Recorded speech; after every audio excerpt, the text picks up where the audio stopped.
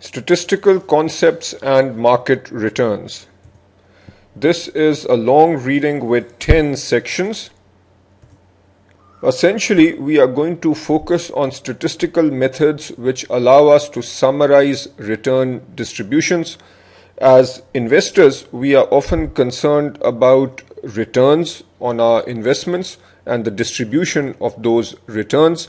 And when evaluating return distributions, we are often looking for central tendency, which means the following. Let's say that the stock market has returned on average 14% over the last 10 years. Obviously, we are concerned with that average number. We are also concerned with dispersion, which tells us how spread out the data has been. One of the simplest measures of dispersion that we'll talk about is range. So, for example, if over the last 10 years the stock market return has ranged between minus 20% and plus 35%, that is also important for us to know. Skewness talks about whether the data is skewed to the right, skewed to the left, or whether it is normal, which means that there is no skewness on either side.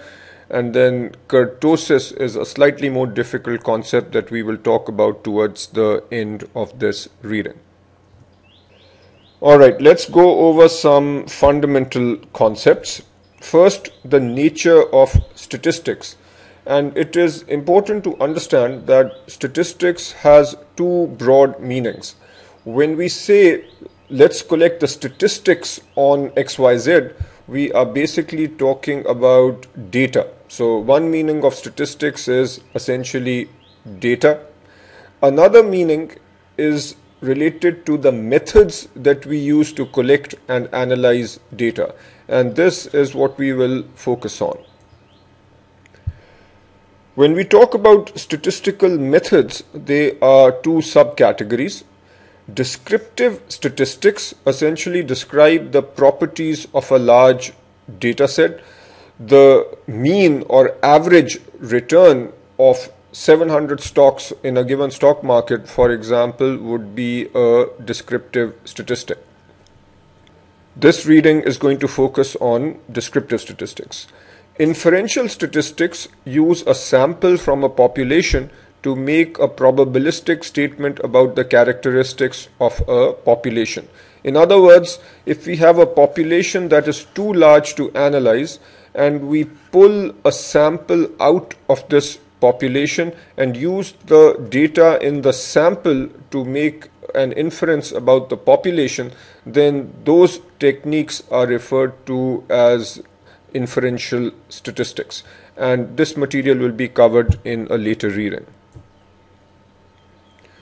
Let's cover some basic definitions that will be used in this reading as well as in subsequent readings.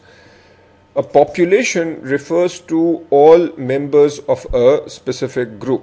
So, for example, if you define a population as follows all the publicly traded stocks in a given country for example, could be a population. So let's say that that number for a given country is 2000. A parameter describes the characteristics of a population and generally this is denoted by the Greek symbol mu. So the average return of these 2000 stocks might be 10%. So we will say that the parameter mu which describes the average return of the population of stocks is 10%. A sample is a subset which is drawn from this population. Let's say we draw a sample with a size of 30, generally denoted by n. A sample statistic describes the characteristic of a sample, and this generally is denoted by x bar. x bar would be the average return of the 30 stocks in the sample, and x bar is called a sample statistic. Let us now talk about four different measurement scales. A nominal scale is one where we essentially only use names. A nominal scale is one where only names make sense. So, for example, if we talk about different kinds of mutual funds, you might have a money market mutual fund, you might have a stock fund which focuses on growth stocks, you might have a stock fund or equity fund that focuses on value stocks. So notice that these three different funds are not better or worse relative to each other and essentially only the names make sense because the names are telling us what sort of a fund we are considering. In an ordinal scale, the order makes sense. And a simple example would be the following. If we look at all the stock based or equity based mutual funds in a given economy, then you might say that here is the first quartile. So these are the funds that performed the best. Then second quartile, third quartile, and fourth quartile. So when we categorize and say that a given category is better than a second category, which in turn is better than a third category, then this is a ordinal scale.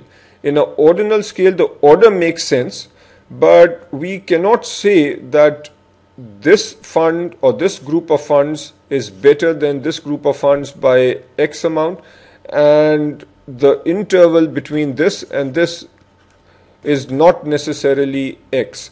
The point being that while the order makes sense, there is no concept of a equal interval between the different categories. With the interval scale, however, not only do we have an order, but the interval also makes sense. The classic example of uh, interval scale would be temperature. If you have a temperature of 1 degree centigrade versus 2 degree centigrade and 3 degree centigrade, we know that 3 is hotter than 2, 2 is hotter than 1, and the difference or the interval between the two makes sense. So if this is a 1 degree difference, the difference between 2 and 1 is also a 1 degree difference. So the interval makes sense. However, ratio doesn't make sense here. We can't say that 2 degrees centigrade is twice as hot as 1 degree centigrade. And finally, the most precise measure is the ratio scale where we have order, intervals make sense, and the ratio also makes sense. The classic example would be the earnings per share of a given company. Let's say that earnings per share are dollars 2 in the first quarter and then in the second quarter the earnings per share are dollars 4. We can say that in the second quarter the earnings were two times more than the earnings in the first quarter. With, with the ratio scale there will also be an absolute zero. So EPS of 0 actually makes sense. This means the absence of any earnings and then you can also have negative earnings. So in a ratio scale there will be a absolute zero. Notice that with interval scales there generally won't be a absolute zero in the sense that while we do have a 0 degree centigrade, 0 degree centigrade does not mean the absence of temperature. Let us work through this practice question. We need to state the scale of measurement for each of the following. The credit rating for a corporate bond. As you will study later, corporate bonds have a credit rating which is an indication of their probability of defaulting and so on. The best credit rating would be AAA, which is better than a AA rating and then lower ratings would be triple B and so on. Now notice that the order makes sense because AAA rating is better than triple is better than double A rating, which would be better than a A rating, but we can't say much about the interval. So this would be a ordinal scale where the order makes sense. Next, coupon rate. Bonds often pay a certain amount of coupon expressed as a rate. if a given bond pays a 8% coupon versus another bond that pays 6% coupon, you might also have zero coupon bonds. So notice that this is a ratio scale because we have an absolute zero and if there is a bond which pays 4% then we can say that this bond is paying a coupon that is twice that of this bond. Mutual fund classification types. If you have a fund that's classified as a growth fund versus another that's classified as a value fund, this is a nominal scale where only the name makes sense. We can't say that this is better than that or that a value fund is better than a growth fund but the classification or categorization here essentially is just identifying two different kinds of funds. Name makes sense. This then is a nominal scale. And the easy way to remember this is n for nominal and n for name. And finally bond maturity. You might have a bond that matures in 5 years another bond that matures in 10 years we can say that the bond that matures in 10 years is, has a maturity that is two times that of this bond. You can also have a bond that would be maturing very, very soon. So the maturity there would be practically zero.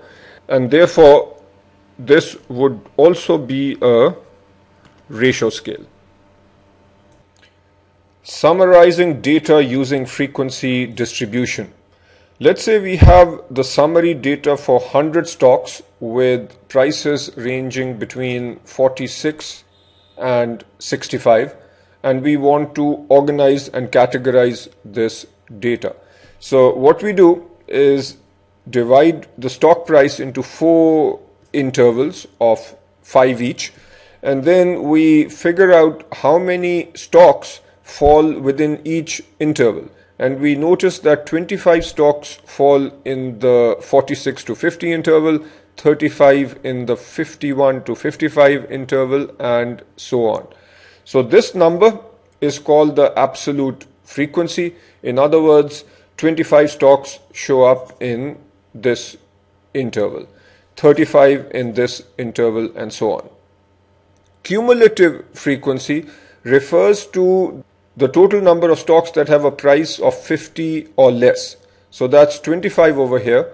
The total number of stocks with a price of 55 or less would be 25 plus 35 which is 60. The total number of stocks or the cumulative number of stocks with a price of 60 or less would be 25 plus 35 plus 29 which is 89 and then the total number of stocks with a price of 65 or less would be 100 that is called cumulative and cumulative because we are essentially accumulating the number of stocks in each interval. Relative frequency simply says how many stocks we have in each interval relative to the total number of stocks. Given that we have 100 stocks and 25 are in the first interval.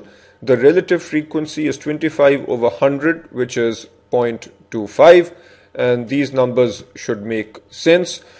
Cumulative relative frequency is simply taking the cumulative frequency and dividing by 100. So here the cumulative frequency is 89 divided by 100 is 0.89. Now that you have understood what we've done here, the formal process for constructing a frequency distribution should be fairly obvious. Essentially, we first define the intervals, which is what we did over here.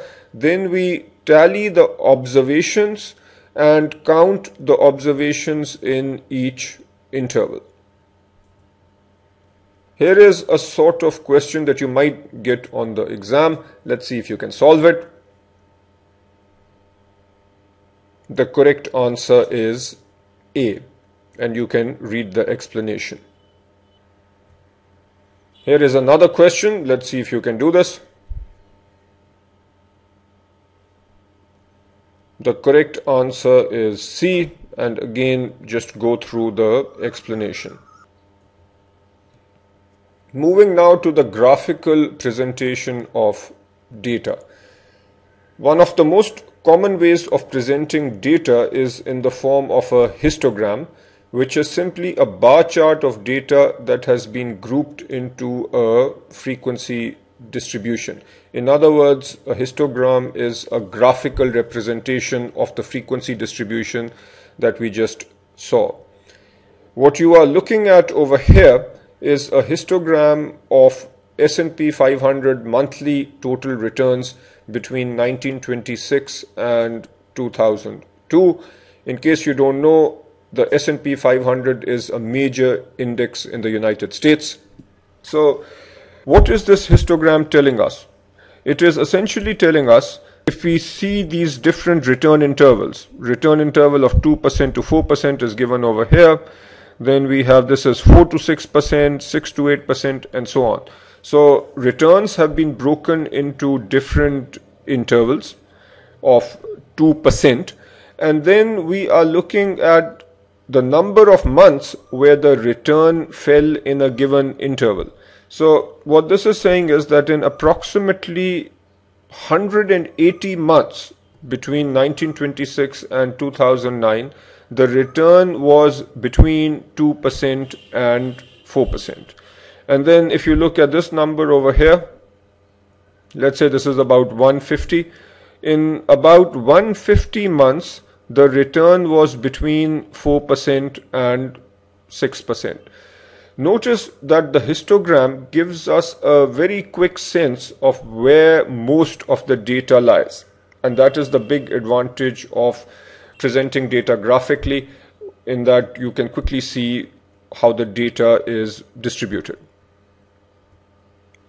A frequency polygon simply takes the midpoints of the histogram and connects those points. So if you take this histogram and the midpoints for each one of these bars and connect those midpoints, you have what is called a frequency polygon.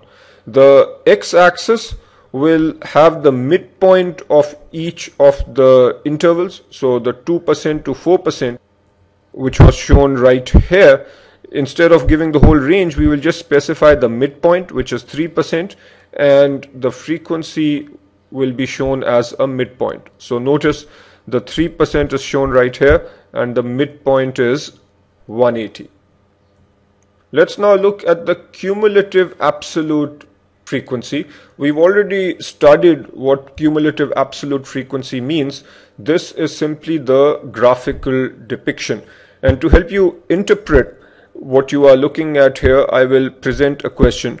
Let's say that we look at this 4% number over here and I tell you that 4% over here reads off at 650.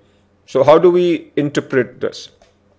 The way we can interpret this is in 650 months, the return, the monthly return was 4% or less. If with zero, we read off 400, what that would mean is in 400 months, the return was 0% or less than that. And then what this would mean is that in approximately, let's say this reads off at 890, in 890 months, the return was 24% or less.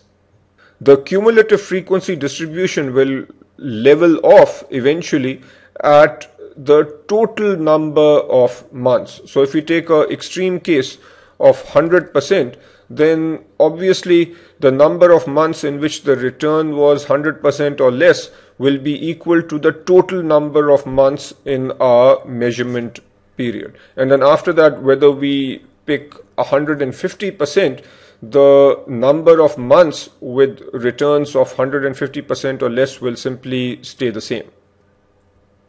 Let's look at a few practice questions. Here the correct answer is C.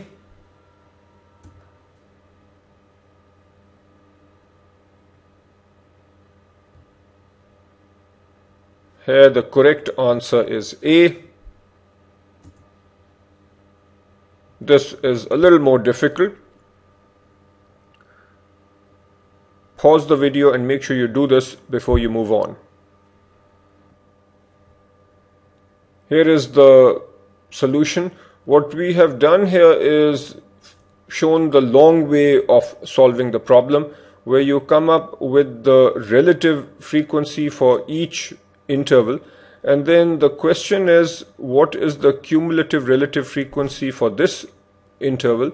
And what we then need to do is take all these numbers and add them up which is done right here. So the cumulative relative frequency is 83.33 percent. A faster way of doing this would be to recognize that we just have one interval left after this and if in that final interval we have 16.67% of the data then before 16.67% we must have 100 minus this so the quick way of doing it would be to identify 16.67% do 100 minus that which would give us 83.33%. So the way we can express this in plain English is saying that 83.33% of the data is less than 12. Measures of central tendency. And here are the different measures of central tendency that we will talk about. The arithmetic mean is the simplest measure of central tendency and we arrive at the arithmetic mean by adding all the observations and then dividing by the number of observations. The arithmetic mean for a population is generally denoted by the Greek symbol mu and this is your summation sign. So if you have n observations, you say i goes from 1 to n and essentially you are summing up all the observations over here and then dividing by the number of observations. A sample mean is generally denoted by x bar and here again the method is exactly the same. You go from 1 to n so you sum up all the observations in the sample and then divide by the number of observations in the sample.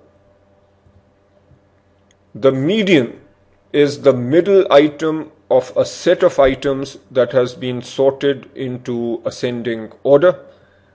Let's say you have these numbers which have already been sorted in ascending order. The median is the middle number. If you have a odd number, then this is straightforward. If you have an even number of items, then you take the middle two numbers, which in this case would be 9 and 10 and you simply then take the average of the middle two numbers. Note that the median is less affected by extreme values than the mean.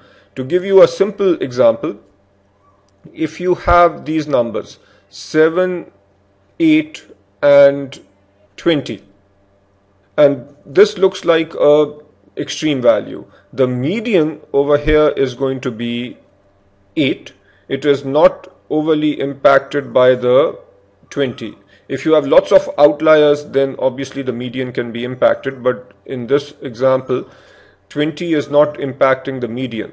But 20 will have a major impact on the mean because the mean over here is going to be 7 plus 8 plus 20 divided by 3. So because of this 20, the mean number or the average number will go up a lot. The mode is simply the most frequently occurring value in a distribution. In this simple set, the mode is 8. We can sometimes have data sets with more than one mode. They are called bimodal if there are two modes or trimodal if there are three modes. It is also possible that a data set might not have any mode. Let's talk about a few other concepts of mean, starting with the weighted mean. In a weighted mean, different observations are given different proportional influence on the mean. Let's consider the following situation. You have invested in three stocks and here is the amount that you've invested. Over the year, the returns were as follows 5% on A, 7% on B, and 9% on C. And the question is, what was your portfolio return? If you simply take the mean of 5, 7, and 9, you would get an answer of 7%. But is that really an indication of how your portfolio has performed? The answer is it is not because clearly a higher weightage of your portfolio is in stock C.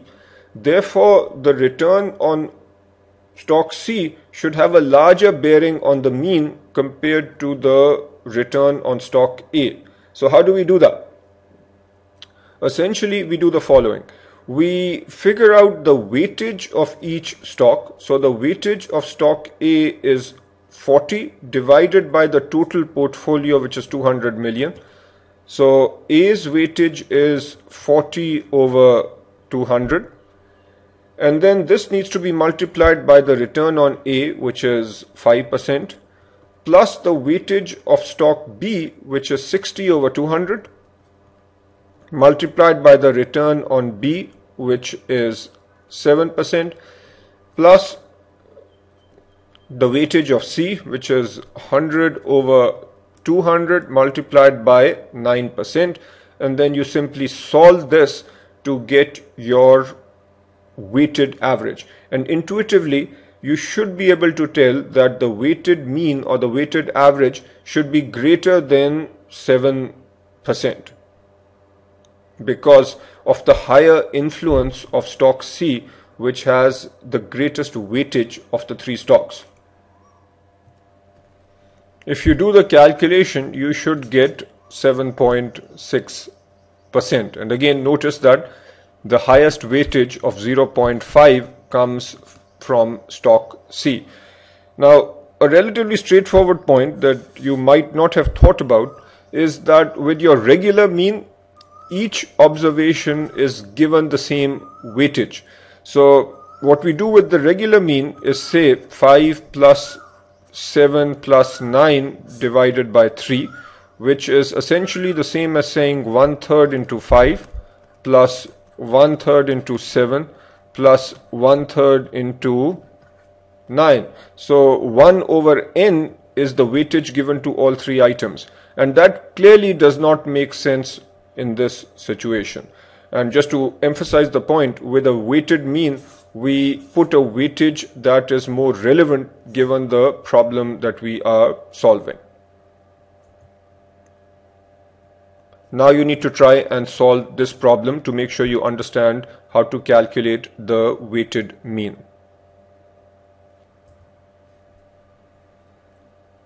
This is the calculation and the answer should be 2.44%.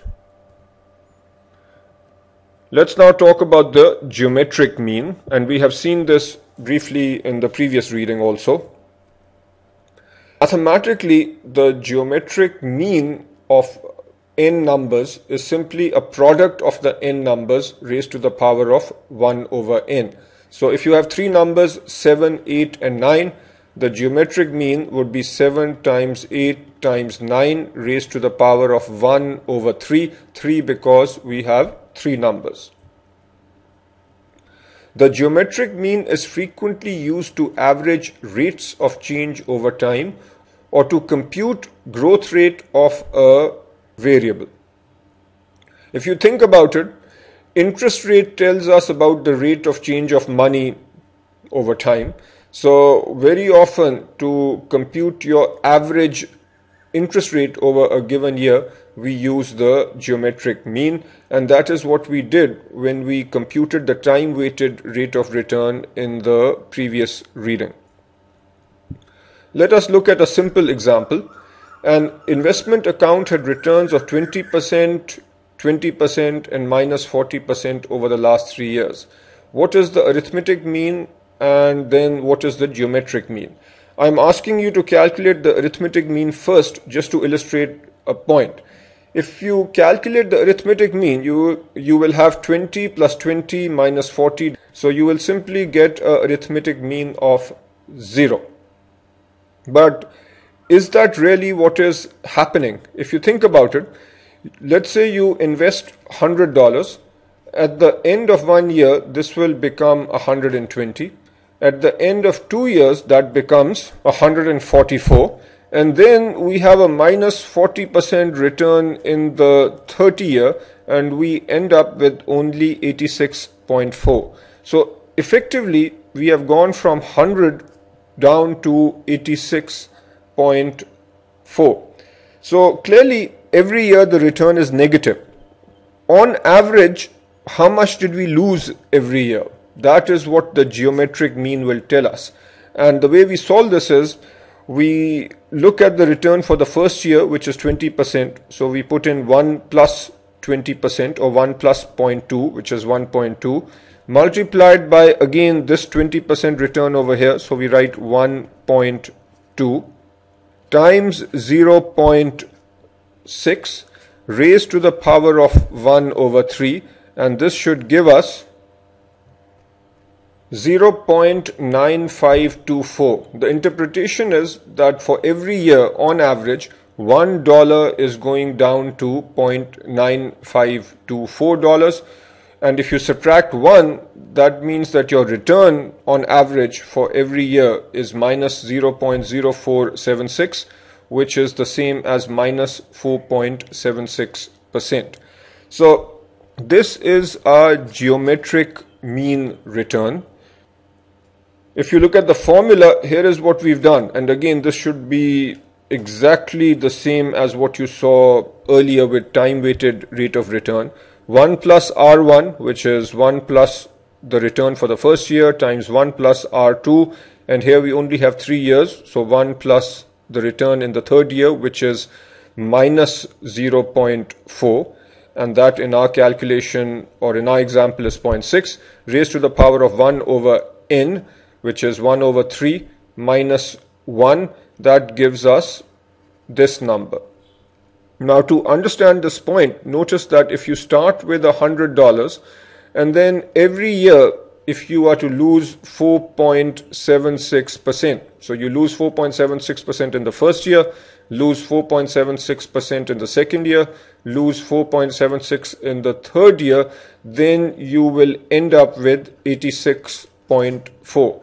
So the interpretation of the geometric mean is that it is telling you on average how much you are losing every year. To make sure you understand this concept well, do this problem now. You should calculate the return for the first year, the second year, and then simply come up with the geometric mean. 0.5 simply is 1 over 2 because we have two periods we minus 1 to come up with a return you should get 0.1832 which is 18.32%. Next we talk about the harmonic mean. The harmonic mean is a special type of weighted mean in which the observation's weight is inversely proportional to its magnitude. This might be a little difficult to understand but let's look at an example and after the example it will make sense. Let's say you purchase $2,000 worth of your company stock every month. The purchase price over the last three months has been 20, 24 and 30. On average, how much did you pay per share? Now, the average amount that you pay per share is actually the harmonic mean. Let us just do this logically and then I will show you how our calculation actually corresponds to this definition and this formula. To calculate the average price that you paid, what you need to do is figure out the total amount that you paid and then divide that by the total number of stocks that you purchased. You made a purchase of $2,000 worth of stock every month for three months. So overall, you purchased 6,000 worth of stocks, which is essentially 2,000 multiplied by 3. Then, if you look at how many stocks you bought in the first month, you bought 2,000 divided by 20 because that was the share price initially and then in the second month you bought 2000 divided by 24 and in the third month you bought 2000 divided by 30 when you solve this you should get the average price that you paid for stocks the answer you should get is 24 and that is the harmonic mean now let's look at the formula. XH stands for the harmonic mean. This is given by N, which is the number of items, which is 3 in this case, divided by the summation of 1 over X, X being each of the items of which you are finding the harmonic mean. In our example, that's 20, 24 and 30. So the first 1 over X would be 1 over 20 and then we have 1 over 24 and then 1 over 30 so that is the formula. If you look at what you've done over here and apply some basic algebra you can divide the numerator and denominator by 2000 and you will still have the same fraction. If you divide the numerator by 2000 this cancels out. If you divide the denominator by 2000 then we essentially have these 2000s cancelling out and we are just left with 1. Notice now that what you have here is exactly the same as the formula for the harmonic mean. So once you are convinced that this works, you don't need to go through this relatively long-winded exercise. You can simply plug in n, which is the number of items of which you are finding the harmonic mean, and then 1 over 20 where 20 is the first item and so on. This should give you 24. Now this definition might make sense where we say that the harmonic mean is a special type of weighted mean in which an observation's weight is inversely proportional to its magnitude. So what this is trying to say is expressed over here I would not get too hung up on this definition. The more important point is to recognize the use of the harmonic mean, which is given over here.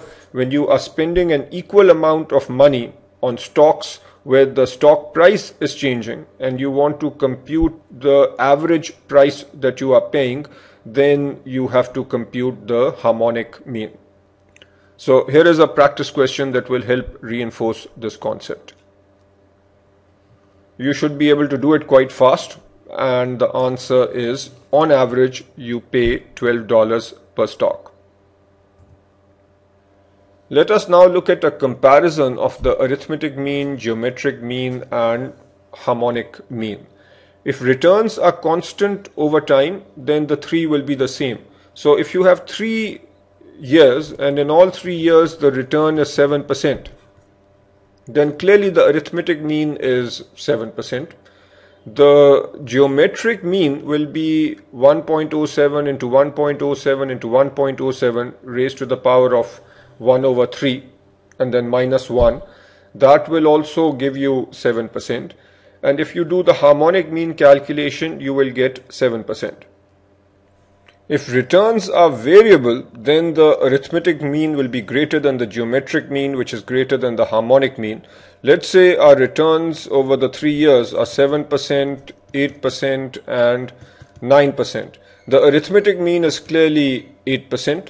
If you compute the geometric mean, it is going to be less than 8%, and the harmonic mean is going to be even less than that the difference between the arithmetic mean and the geometric mean becomes more if the variability increases. In other words, if the returns are then 5%, 8% and 11%, the difference between the arithmetic mean is actually going to increase from here to here and you should do this at least once in your lifetime to convince yourself that this is indeed true and then you should be able to answer the sorts of questions that might show up on this subject. Moving now to other measures of location. Say you have the following return data for 20 mutual funds and the data has been organized for you in ascending order. So we have fund number 1, 2, 3 all the way to fund number 20 and we are given the return data. We can divide this data into quartiles which means that the data is divided into quarters. If you have a total of 20 funds, then dividing into quarters means that in each bucket you have 20 divided by 4 which is equal to 5 funds. So this would be one quartile, this would be a second quartile, the third quartile and the fourth quartile. Dividing into quintiles means that we divide into five different buckets. So 20 over 5 is equal to 4. So here we would have 1, 2, 3 and 4. This would be one quintile. 5 through 8 would be another quintile and so on. Dividing into deciles means dividing into tenths. So with 20 numbers, dividing into tenths would mean 2, and then 3 and 4, 5 and 6, and so on. And finally, percentile means that the distribution is divided into hundredths or percents. Let us now understand the concept of location. Again, using the same data, at a given percentile y with n data points, in our example n is 20, and the data is sorted in ascending order, the location of a given observation is as follows. The location of y, let's say location of 10. This 10 is referring to the 10th percentile. So the 10th percentile is 20 plus 1. Where is the 20 coming from? 20 is the number of data points plus 1 is simply part of the formula into y which is the percentile essentially we are coming up with the location of the 10th percentile so the assumption is that the data has been sorted in ascending order so y is the percentile and 100 is part of the formula so we get 2.1 this is saying that the location of the 10th percentile is 2.1 this is the formula given to you in the curriculum and this is the formula used in standard statistics textbooks. So you need to learn the formula and learn how to use it. But recognize the fact that if your sample sizes are small, recognize the fact that if your sample size is small, then this formula gives you a approximation. It becomes more precise as the sample size increases. And the way you can see that is for the 10th percentile, our location should simply be 2. But because of this plus 1, we get the 2.1, which means that our answer is uh, approximation. This works when we have larger data sets, but on your exam, if you get a question related to location, then you should use this formula. Let us now work through a practice question. Consider this data set and using the formula that we just talked about, you need to find the 75th percentile, the first quartile and the fifth decile. Recognize that the first quartile is the same as the 25th percentile and the fifth decile is the same as the 50th percentile. Here is what you need to do. First, arrange the data in ascending order. So this is what you will come up with. Then for the 75th percentile, we need to come up with the location, which is given by the formula that you should have learnt by now. The location of the 75th percentile is n, that's the number of items in our data set, plus 1, which is part of the formula. Multiply by 75th percentile over 100 so this tells us that the location of the 75th percentile is 9 and then you look at the ninth value which is right here. So the value denoted by P So P75 is 40. L tells us the location, which is 9, and P, or the 75th percentile, the actual value is 40. So simplistically, we say that 75% of the data is over here. And this would be approximately 75% because we have a small data size. Next, location of the first quartile. So location of the first quartile, that is the 25th percentile, that is given by again n plus 1 and then the percentile divided by 100 this gives us 3 that's the location. And then when you look at the third item that is 34 and similarly you can come up with the location of the fifth decile and then P50 is 36 now let's understand the concept of linear interpolation Linear interpolation is used when the location is not a whole number or not an integer. And in other words, the location then lies between the two closest numbers. Say we want to find the sixth decile and using our formula we come up with 7.2. This is the location number for the 60th percentile which is the same as the sixth decile. Now we don't have a whole number here. So we must use linear interpolation which estimates an unknown value on the basis of two known values that surround it. In the above case, the seventh value is 37, that's right here.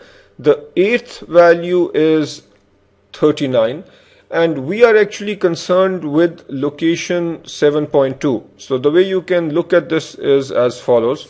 So we have the seventh value which is 37 the eighth value which is 39 so we need to come to point 7.2 so that is going to be 20% of your way between here and here. So about 20% of 2 that is equal to 0.4 so this number here is 37.4 that is the number that we have for P60, 37.4.